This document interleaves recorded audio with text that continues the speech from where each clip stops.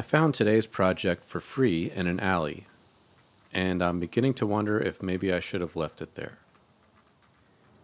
Well, sometimes I have a hard time passing up free stuff.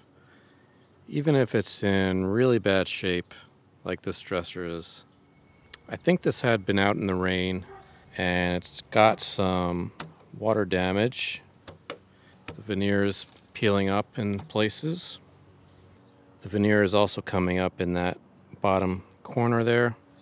And there's a big piece missing here. And it's uh, not marked. There's no brand name on it, no maker. Uh, but there is a date in the back, stamped on the back panel. It says 1962. I kind of like the white laminate top and the white handle. Usually if something has a laminate top, I replace it with wood veneer, but this is in pretty good shape and uh, I kind of like the white, so I think I'm going to keep it. I think to fix this, I'll glue it back down with some epoxy. Um, but I'll do this layer first, and then I'll glue this down. I think that'll be easier to do one at a time.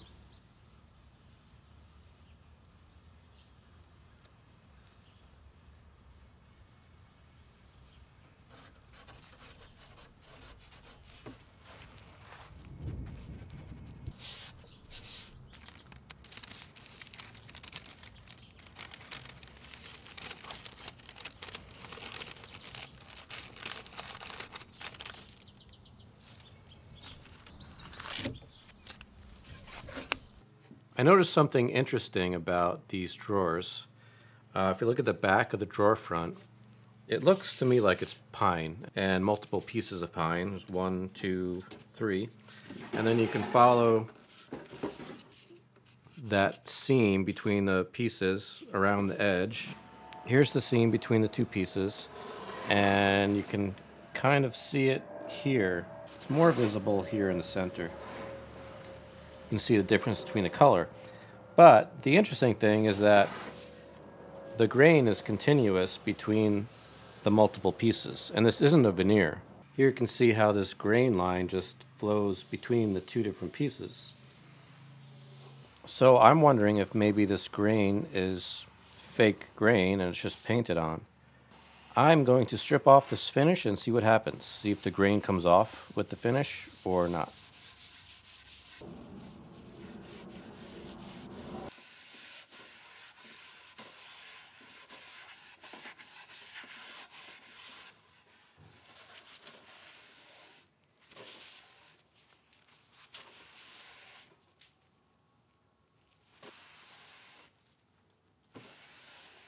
Well, I've got all the finish off the drawer front, and yes, the grain was fake, although you can still faintly see some on there.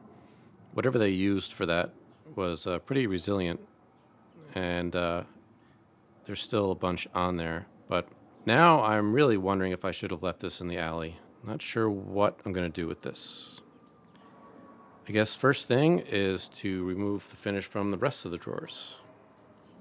One more thing to note about these drawers is that they don't use dovetail joints, which is perfectly fine with me. Uh, I think sometimes people make too much out of dovetail joints on drawers. I've seen plenty of pieces of poorly constructed furniture and really well constructed furniture with dovetail joints. It doesn't really indicate quality. On a mid-century piece, it's not like they're hand-cut dovetails anyway. They're just made with a machine in a factory. So no dovetails here, and it's perfectly strong joint. It's in great shape. It's not loose or anything. And in the back corner of the drawers, it uses box joints, which are also perfectly fine by me, and the ones on here are still strong.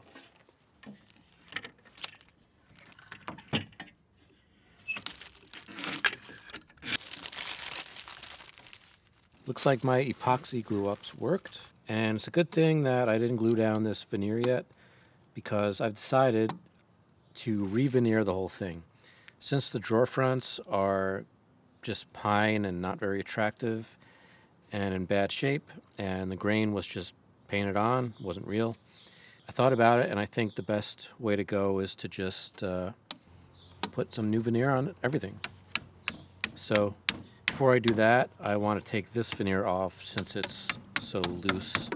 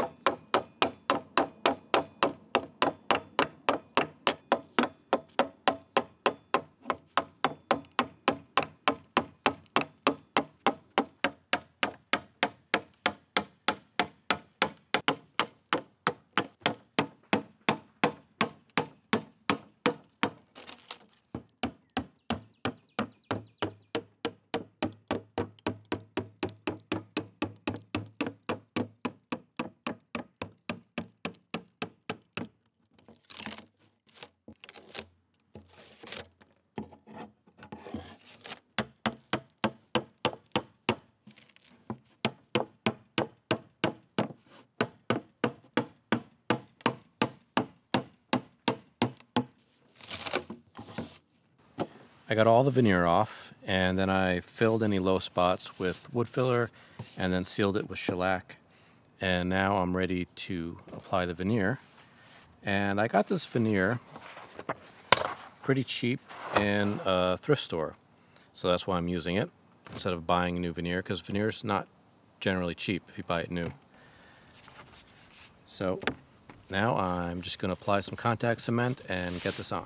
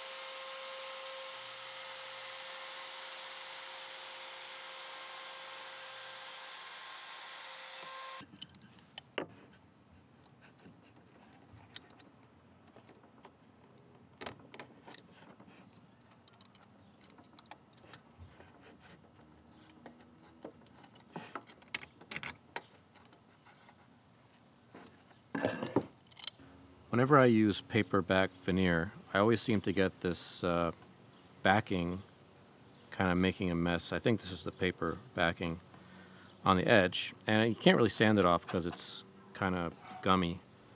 So usually I'll go over it with chisel like this or maybe a utility knife blade and get it off like that.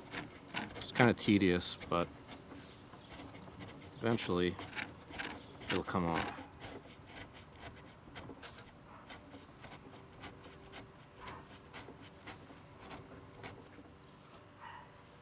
Before I veneer this drawer, I'm going to take this off just to make it a little easier.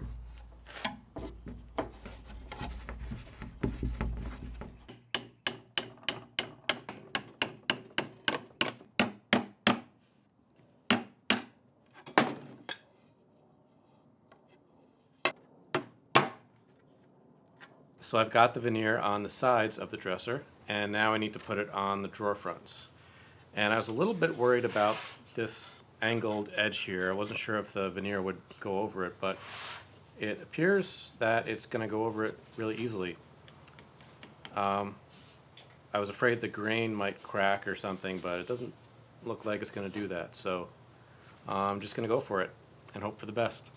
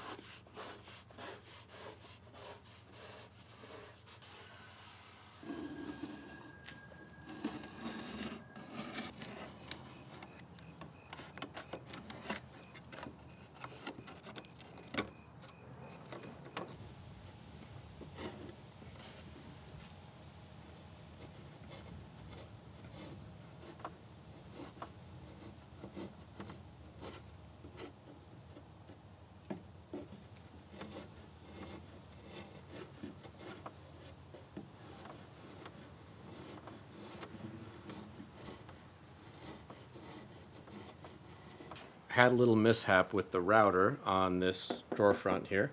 It dug into the edge. Um, I hate routers, by the way, but sometimes it's the best tool for the job, or one of the best tools for the job, if you use it correctly.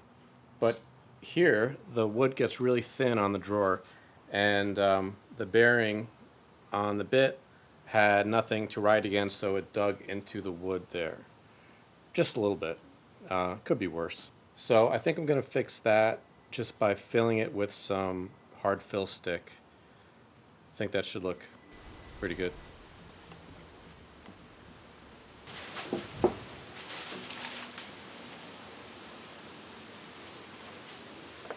This one should be a pretty good match.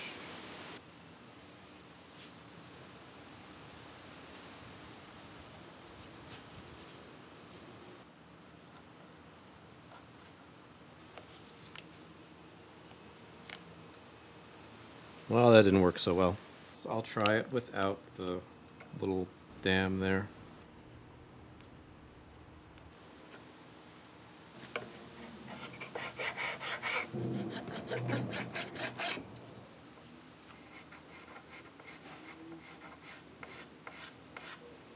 Trying to reuse the stuff that is stuck to this blade.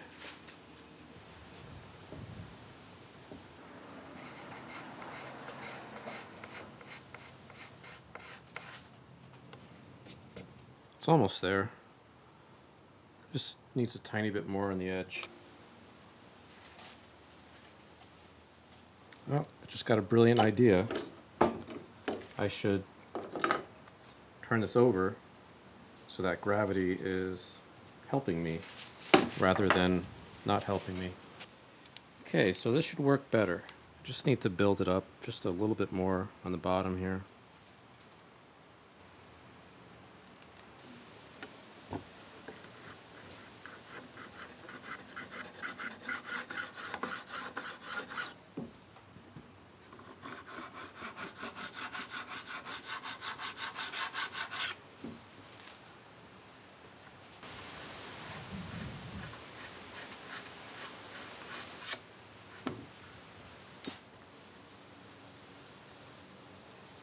It's good.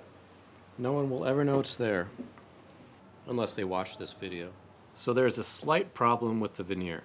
I was stripping the front edge of the dresser and in the process some water got on the side onto the new veneer and in some spots it turned it a little bit black.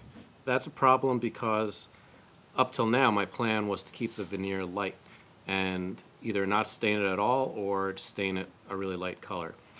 So of course I can't do that if it's got some black in it. So I'm going to try some oxalic acid over the veneer, see if that gets rid of the black. And if it does, great. If not, then I guess I'll have to change plans, go with a dark stain, or maybe even ebonize the whole thing, just turn the whole thing black. Um, I'm not sure, but I'm going to try the oxalic acid and hopefully that works. Okay, so it's not even fully dry yet, but I can already tell that the oxalic acid worked. The black spots are gone, so it's good. I decided to put veneer on these exposed pine surfaces. I just think it's going to help uh, tie everything together. It's going to make it easier to make it all look cohesive. And I have enough veneer left to do it.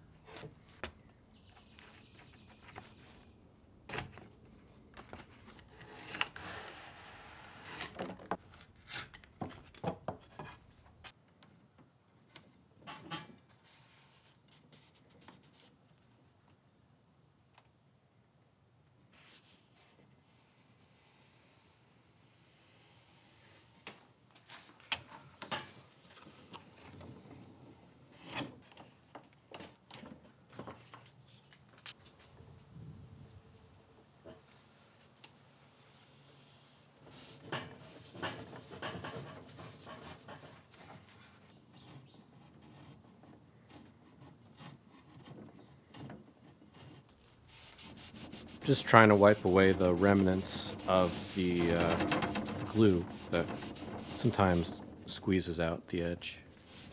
I'm using naphtha. Seems to work pretty well. I've decided for the finish, I'm going to do a gel stain. I could have left this veneer natural and it would have looked fine, um, but I decided to have a little fun with this one. And the stain I'm using is actually a white gel stain. And uh, my plan is to wipe it on, wipe off the excess, and then take a paper towel that has some mineral spirits on it and wipe off even more. So it hopefully will be just kind of a subtle white color. You'll still be able to see the grain pretty well. So hopefully that works.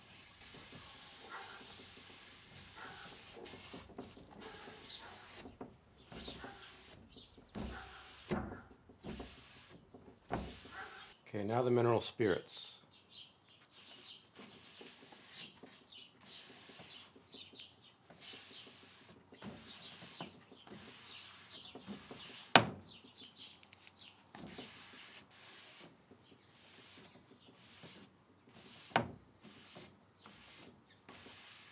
Okay, I think that worked out.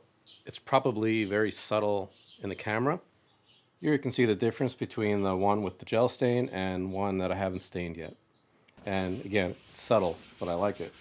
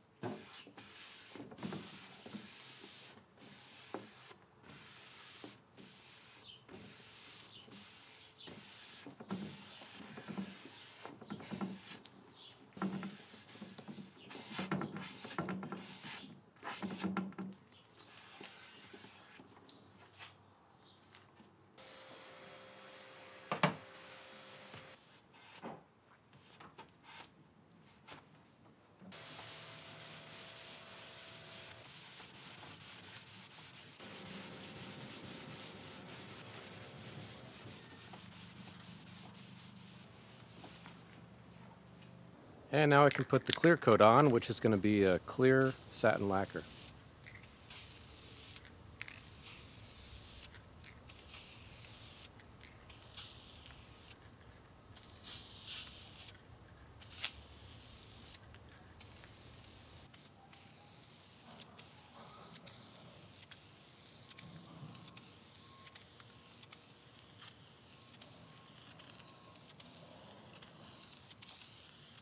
The lacquer is dried overnight and looks great, but it feels a little bit fuzzy.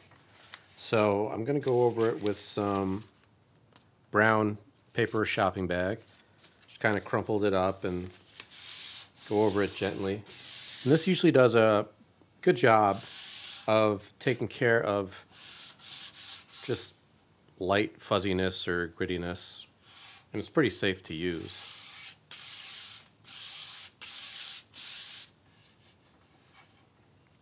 You can see a little bit of the white lacquer dust on there. And that actually worked great. Sometimes you may need something a little more aggressive like steel wool, something like that, but a lot of times that works perfect. It's always a good idea to check stuff like this corner block, which is just barely hanging on. Probably Yep, just pull it off. So I'm going to glue that back on. I'm to try and clean off the old glue. It's not really much left there.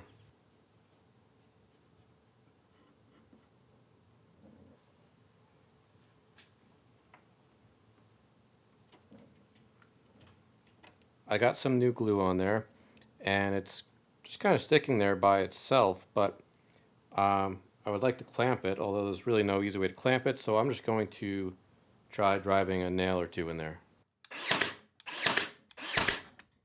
Got some glue squeeze out when I did that, so I think it's pretty good fit. When I first got this dresser, it had both of these drawer pulls on it, on the same drawer, on the top drawer. I was going to clean this one up, paint it, and put it back on with this one, but then I realized, why? I don't need two drawer pulls on the same drawer. So I'm going to not put that one back on. I'm just going to put this one on. So I'm going to clean this up and put it back on. I don't think I'm going to put gel stain on it. Um, I'll try just leaving it natural and see how that looks.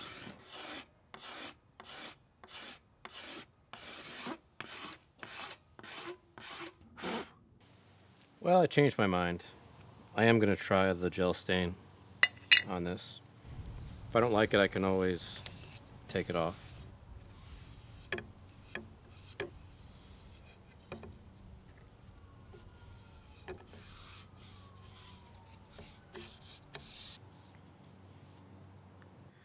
It's the next day after I applied the gel stain on this drawer pull, and it looked a little too white to me today. And also it was uh, so thick on there that it still hadn't really dried. So I wiped off a lot of it with some mineral spirits and just left a little bit of it, just kind of like I did on the rest of the dresser. And I think that looks good. I'm gonna put this on, it just screws on. And I need to open up the screw holes on the veneer side so I can get those screws in.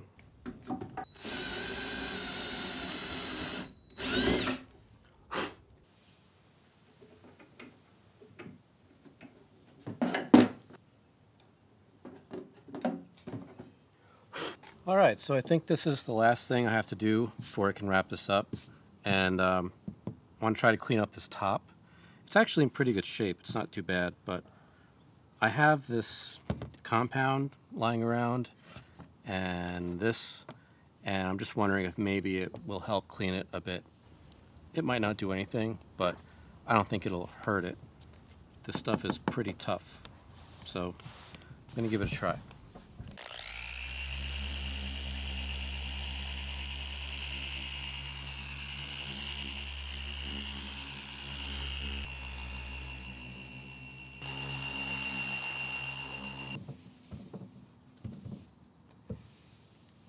Okay, so um, doesn't look worse, so that's a good thing. it may have helped a little bit. It does feel smoother, but didn't hurt. Okay, so now I think I can just put it all back together and be done.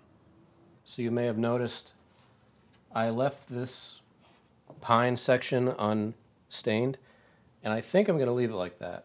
I think I kind of like the just a little bit sticking out there, a little bit of a contrast. It's not going to show as much down here. Uh, probably will just be just a hint of it, but I don't know. I'm going to leave it like that for now and see how it looks. And here it is, all finished.